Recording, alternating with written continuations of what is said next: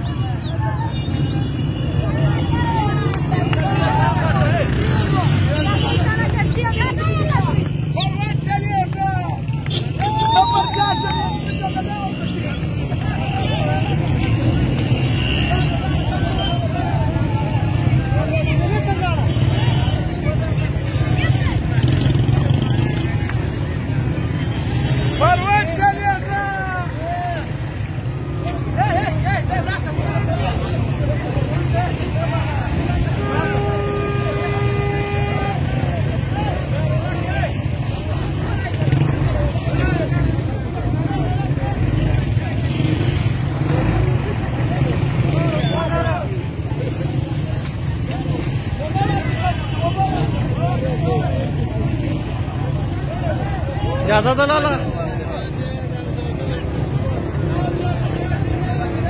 قربان سلاج دا ټول مجاهدین دی بس داوود نیمروز ولایت او زیدول او زیدول چې اول طالبانو فتح کړه